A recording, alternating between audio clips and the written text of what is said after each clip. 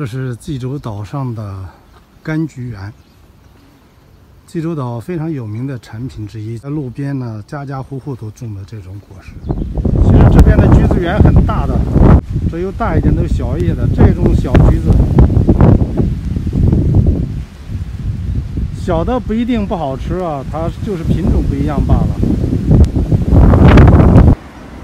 看这下边全是，这边的颜色比较好看一些。啊，这地方风景比较好看，大家看近处的有很大的这种柑橘，也有远处的比较小一些的黄色的橘子。